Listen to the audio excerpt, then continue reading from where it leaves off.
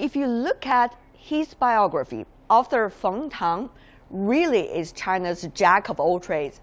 Born in Beijing in the 1970s, he graduated with a university major in gynecological tumors of all things. But after only a short time working in the medical profession, he switched to the business world after getting an MBA in the US. Years later, he took on another corporate challenge, managing a branch of one of China's most well-known state-owned enterprises. But throughout his career, writing has been his true passion. In his free time, he's churned out a whole series of novels. Give Me a Girl When I'm 18, that's one of them. Beijing, Beijing, another. And Like It, that's another. That's in addition to some of the provocative works which even today haven't been published in simplified Chinese on the Chinese mainland. His name is instantly recognizable to any Chinese urbanite, from teens to adults. Everyone has found something to love in his work. A crazy and dramatic reflection of their own lives in an ever changing China.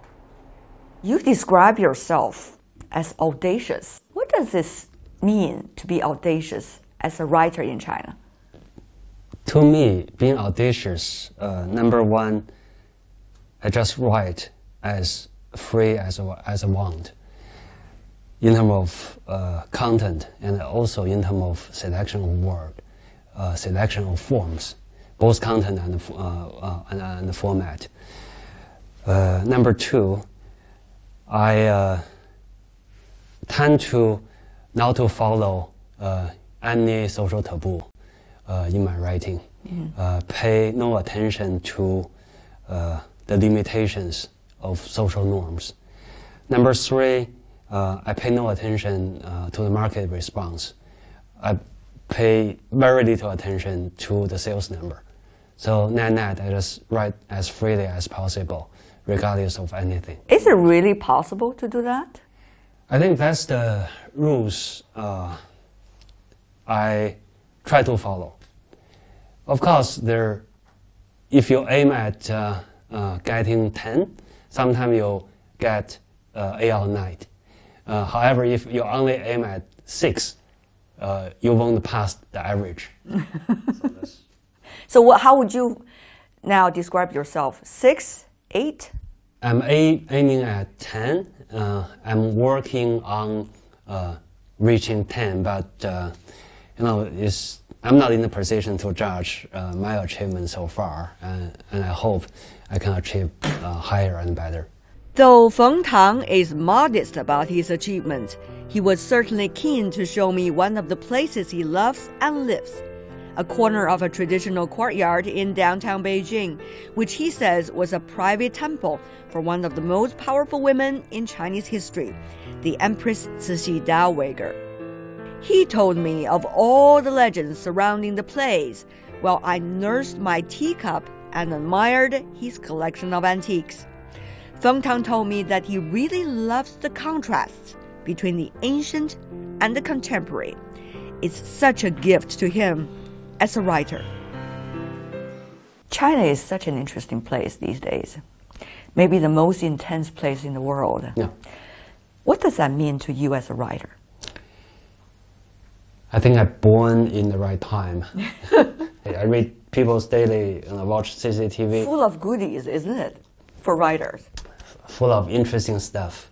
Very interesting stuff. Sometimes even I use uh, my imagination. I cannot think things could be this way. Can you help me to understand how those stories, maybe on the paper, on TV, or through stories told by the others, yes. would eventually reflected in some of your works? Does it really go that way? Yes, yes, yes. Okay. yes. For example, just give you one uh, uh, story just happened uh, uh during uh, this lunch. I had lunch with, with my parents. My father was away. My mom was saying to me that, hey, uh, did you watch TV uh, last night? I, I, I, told her many times I don't have a TV at all. Uh, did you watch TV last night? Saying in Jiangsu province, there are a huge number of ducks uh, were dead, not naturally, just with certain disease or poison. Then uh, just at this time, my uh, my father came in saying uh, with a duck, uh, saying it's extremely cheap. I don't know what's going on, but I, I, I like the price. I just bought one. So this, you know, this is uh, that thing cannot happen. Just little things, but coincidences, Yes. the drama Yes, has always yes. been there Yes. in life. Yes. Yes. Yes. Yes. Too many to choose from? Yes. Yes. Yes. How would you streamline them as a writer? Uh, the ones came into my mind first. Usually, what kind? usually with strong contrast or usually uh, something with a strange sense of humor, just as the one I just described to you.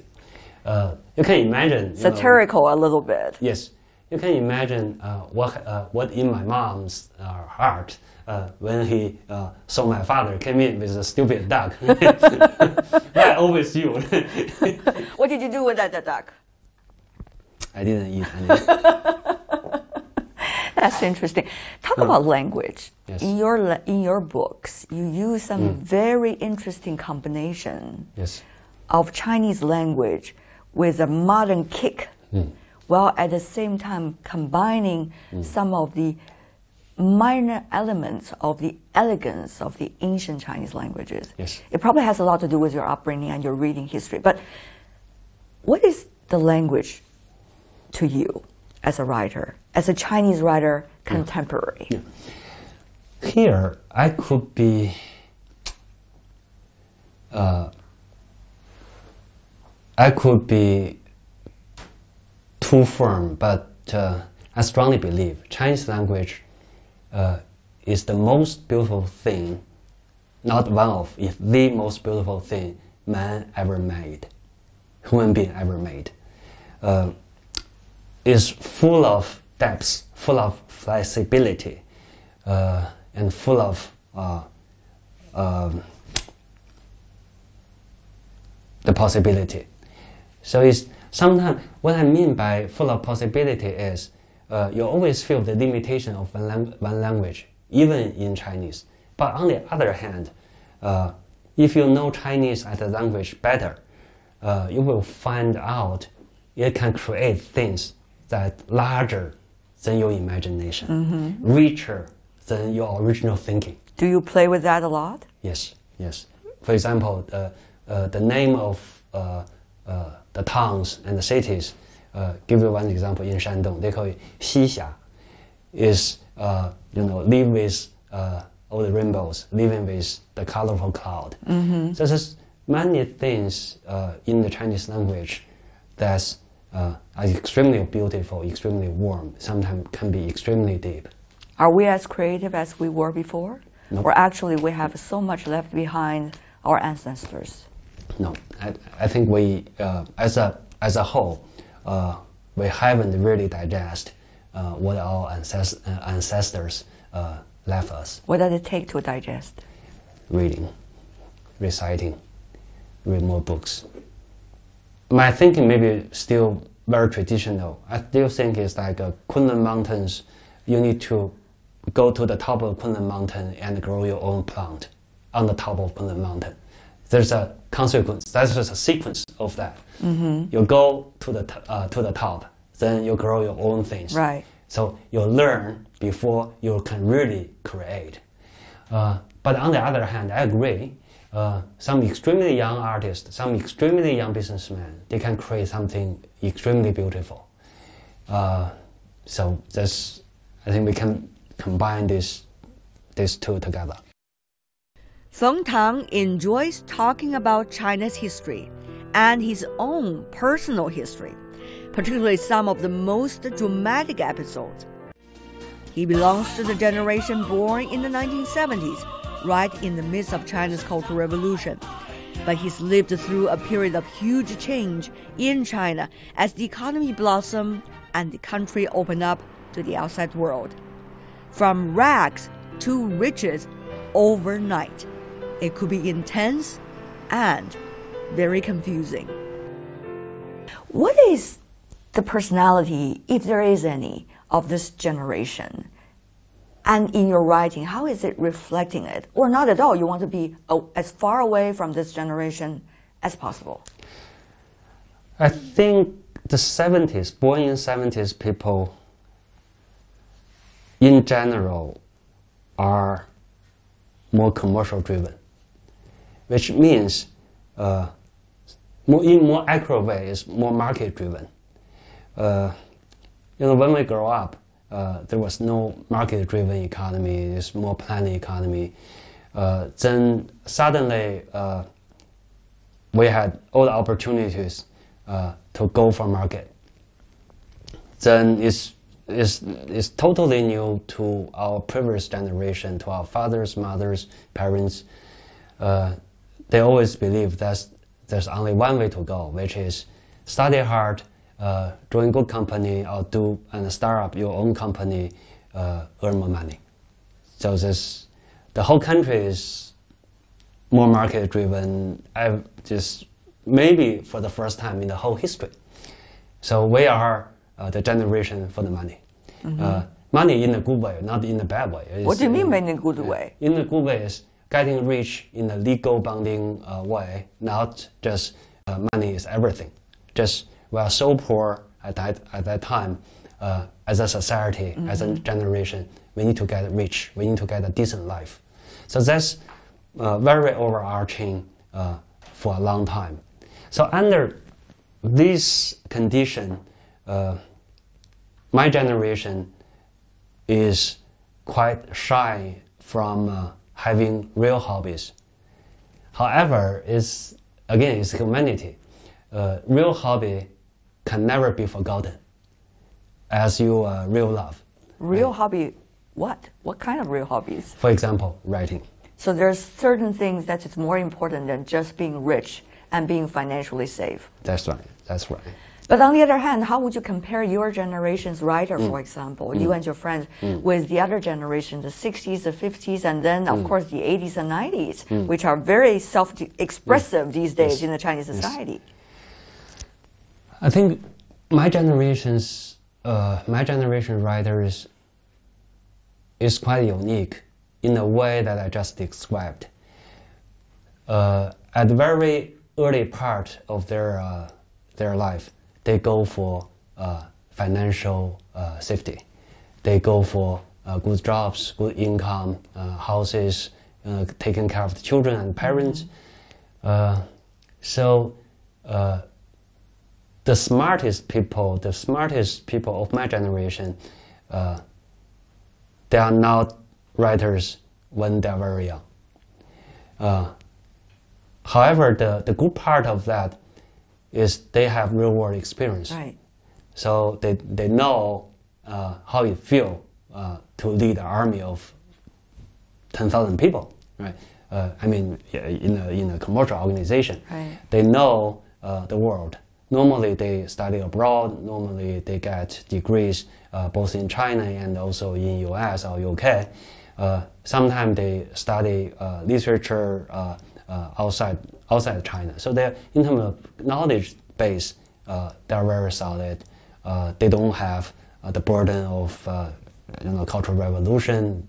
also, they do not have the limitation of only study only studying in Chinese. Mm-hmm. So this, they are better writer in terms of experience and knowledge.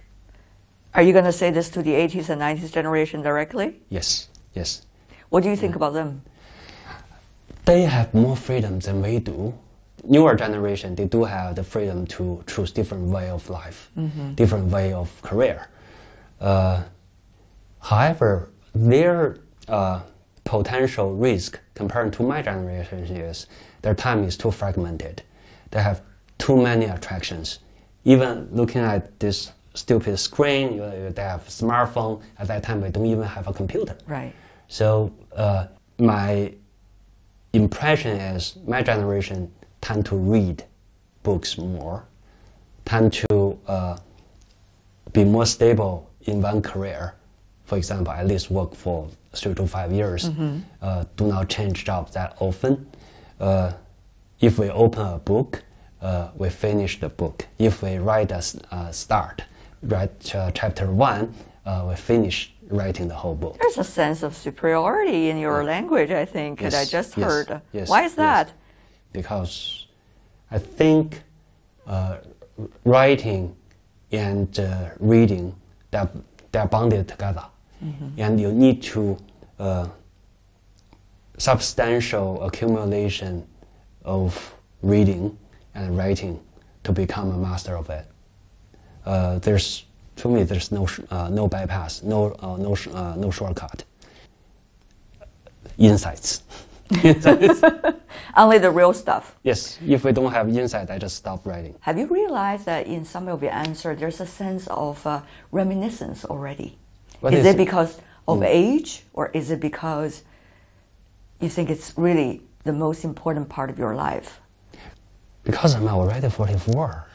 So what? According to the United Nations standard, you are still the young generation. Uh, I like youth. to I like to compare uh, things. For example, uh, my feelings, my impressions, my understandings when I was very young, and my understanding the same set of things uh, I'm having now. Were those days the most beautiful days of your life? No, I don't think so. I think every uh, every single stage of life uh, is unique. Uh, what I'm doing is, you know, I read uh, Chinese history extensively. I like to compare.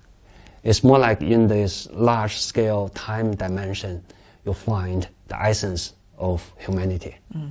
So this, you know, as as a thinker, as a writer, you always try to compare, try to think about what's the difference, what's the commonality among things, among people, among different uh, uh, dynasties. So that's what I generally do. We talk a lot about your past works, your aspirations. Mm. What's next? If that is a question that I could ask.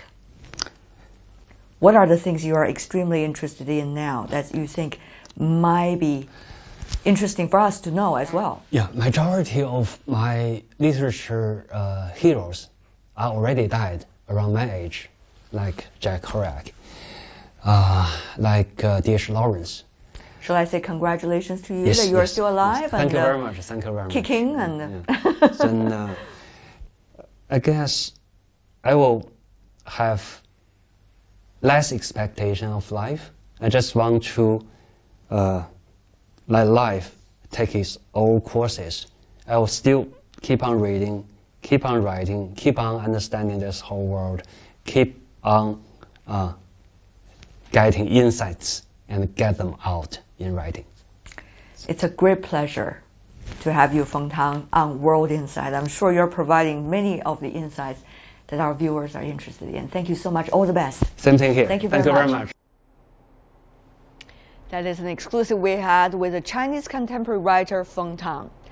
Too many choices, according to him, that's not just a problem confronting Chinese writers born in the 1990s, but also many of us here in China. But will we make the right choices? Will we make our choices by listening to our hearts? Those are certainly important questions to be asked. As to the choices that Feng Tang made recently, he had one of his earlier novels entitled Beijing, Beijing, translated into English, and another, Ever Since We Love, made into a movie. It's his ambition now to make his works more widely known than ever before.